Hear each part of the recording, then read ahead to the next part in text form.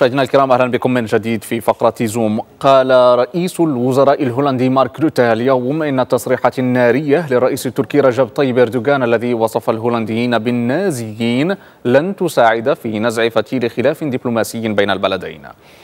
وأضاف أن هولندا لا تسعى لمواجهة مع أنقرة لكنها ستبحث عن خيارات أخرى إذا لم تكف تركيا عن إصدار مثل هذه التصريحات.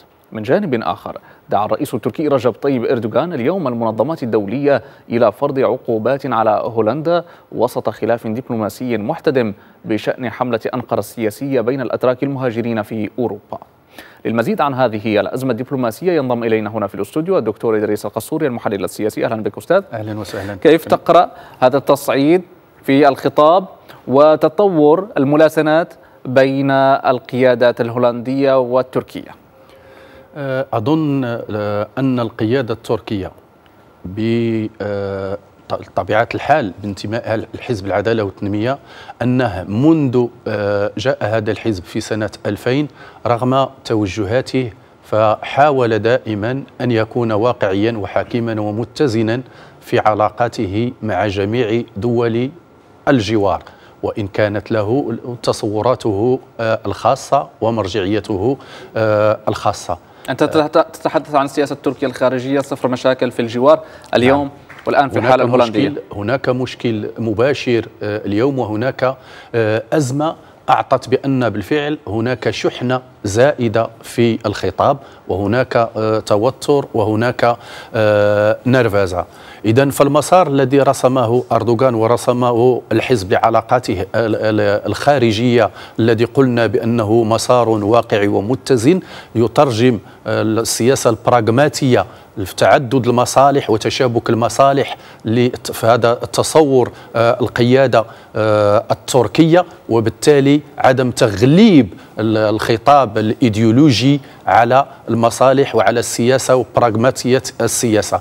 اليوم يتضح بأن ما حدث في هولندا يعتبر في نظر تركيا بأنه يمس قومية تركيا. وهذا المس هو مس بكيان تاريخي وحضاري لتركيا برمتها حين تتعامل مع وزير معين تمنعه من نشاط معين وترافقه إلى كيف تنظر إلى هذه النقطة تحديدا حينما نتحدث عن ساسة أتراك ينتمون إلى الحكومة التركية يقومون بحملات سياسية لحشد الدعم للدستور. هل منع مثل هذه الحملات الدبلوماسية في العرف؟ العلاقات الدولية والدبلوماسية هو أمر ربما مألوف وعادي أم أنه في الواقع يخرج عن نطاق المسموح به؟ آه، تركيا وضعت آه، ترشيحها للانضمام للاتحاد الأوروبي تقريبا أزيد من 50 سنة 1959 حصلت على نسبة الامتياز الشريك في 1995 منذ تلك الفترة كان هناك اطمئنان لتركيا بالانضمام للاتحاد الأوروبي لكن كان هناك تماطل وبطء في هذا في هذا الاتجاه. ليس لموقع تركيا الجغرافي ولدورها المحوري في المنطقة والاستراتيجي في المنطقة وإنما لاعتبارات مرتبطة بانتمائها العقائدي وهويتها على أساس أن تغير تركيا جلدها بل دينها كي تنضم إلى إلى أوروبا. اذا هذا هذا التوجه مسار التوجس الأوروبي من تركيا لا زال حاضرا إلى الآن. ويتكرس بمعنى الأوروبيين غير مطمئنين للإصلاحات والتوجه العلماني والديمقراطي والحقوقي والعمل بمنظومة اقتصاد السوق التي عملت بها. تركيا أستاذ تركيا تتهم الدول الأوروبية بأنها تدعم آه، آه، التصويت على الإصلاحات الدستورية التي عرضها آه، الرئيس أردوغان على التصويت بلا وسط الجاليات التركية. وتقول أنقرة أن من حقها أن تقوم بحملات سياسية في أوساط هؤلاء هذه الجاليات. هل هذه هذا التوصيف هو مطابق للواقع؟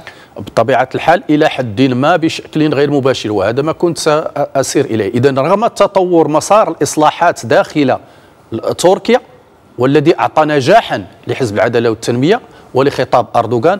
فأوروبا غير مطمئنة لهذا المسار وبالتالي فهي تماطلت كثيرا في انتماء تركيا للاتحاد الأوروبي.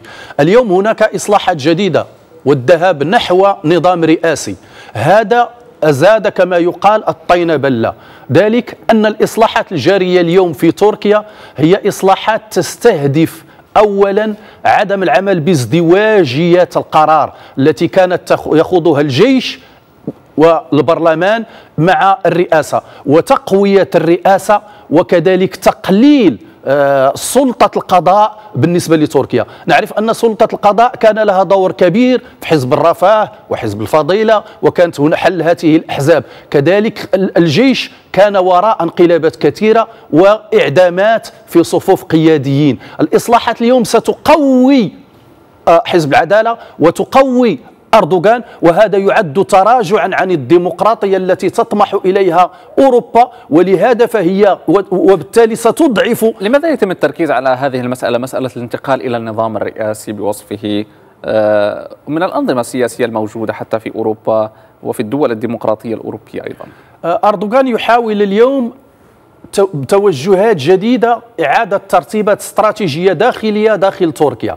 هذه الترتيبات تقوي الرئاسة وتعطيها وحدها القرار الأقوى والأخير وتضعف السلطة القضائية لأن كانت لها مشاكل دائما مع الأحزاب وتضعف كذلك تدخل الجيش لأن الجيش له علاقات بأوروبا وله علاقات بالمنظومه الاقتصادية وبمجموعة من الأقليات وكان يتدخل دائما في الشكل في الشأن الداخلي ويضعف الحزب آه، الحاكم. ولهذا هذه الازدواجية الآن سواء الجيش سواء التعددية كذلك القضاء يريد تخفيف حدتها وتدخلها في الشأن السياسي من خلال تقوية آه، الرئيس. هذه الإصلاحات لا تنظر إليها أوروبا بعين الرضا والاطمئنان وجعلتها تدخل في أنها تدفع الأتراك ليصوتوا بلا لأن حليف أوروبا داخل تركيا هو الجيش.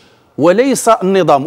وأوروبا تتعامل مع الجيش وتتعامل مع قوى اقتصادية داخل داخل تركيا ولا تتعامل مع آه، البرلمان ومع المؤسسة إلى إلى تفاعلات هذه الأزمة الدبلوماسية؟ آه، اليوم آه، الشرطة الهولندية رافقت وزيرة تركية من أمام منعتها من دخول القنصلية التركية ورافقتها إلى الحدود الألمانية تطردها بالفعل. كيف تنظر إلى التضامن الأوروبي الموقف الموقف الفرنسي الموقف الألماني إلى غير ذلك. كيف يمكن أن تتطور الأمور خاصة وأن الدنمارك أجلت زيارة رئيس الوزراء التركي إليها؟ إلى وقت لاحق الإجابة هو أن عن سؤالكم هولندا لها كامل السيادة على أراضيها ولها صلاحيات تدبير الشأن الداخلي ورفض من تريد وقبول من تريد. إلا أنه لا بد لها من احترام الأعراف والقواعد الدبلوماسية المتفق عليها وليس إهانة وزير دولة جارة تريد الانتماء إلى هذه المنظومة الأوروبية. فتركيا تعتبر المنع وتعتبر المرافقة إلى الحدود إهانة وهي تعتبر نفسها دولة قطب محورية في المنطقة وليس دولة هامشية.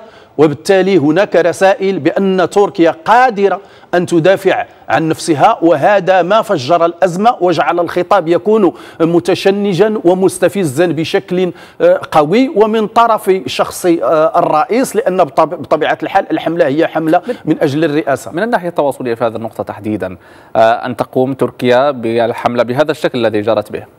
أن تمنع حملتها في البلدان الأوروبية أن يمنع وزراؤها أن يرحلوا أن يطردوا أن تمنع طائرة وزير الخارجية التركي من من أن تحط في كذلك لابد هو نفسه حملة أكثر نجاعة في السياق العام لابد أن ننسى بأن هناك حملة تطرف مغرضة كبيرة اتجاه فئة من الأقليات وخصوصا الأقليات الإسلامية داخل الأوساط آه، الأوروبية. وهناك صعود للتطرف في أوروبا ولزعماء متطرفين. إذا هناك هناك تطرف في الخطاب من طرف اليمين الأوروبي وهناك يقابله تطرف في الخطاب من طرف الرئاسة آه، التركية. اذا السياق يوفر هذا النوع من التطرف رغم أني قلت أنه في البداية لا يساير السياسيه والاستراتيجيه محدد الاستراتيجي التركي في علاقته الخارجية. وقعت الدول الأوروبية في فخ أن تمنع هذه لا هو هو هو تضامن نفسي وتضامن رمزي آه، فقط هم يعرفون بأن هولندا محرجة كذلك ولهذا كان أن حتى الخطاب الهولندي أنه كان خطاب من أجل تخفيف الأزمة وكانت ردود الفعل هجينة وضعيفة جدا الكلمات ضعيفة وليست في المستوى وتتحدث عن توقيف الخطاب التركي وعدم الاستمرار في الاستفزاز ولا تتحدث عن شيء آخر. وكذلك الدول الأوروبية الأخرى عبرت عن ضبط النفس ولا تفكر في شيء آخر. في حين أن أردوغان ذهب نحو فر... أن طلب المنتظم الدولي فرض عقوبات على هولندا باعتبارها خرقت قواعد الدبلوماسية الدولية. شكرا لك الدكتور إدريس قصوري على كل هذه التوضيحات التي أثريت بها هذه الفقرة والشكر موصول لكم مشاهدينا الكرام. نلتقي بعد قليل. أرجو أن تتفضلوا بالبقاء. y.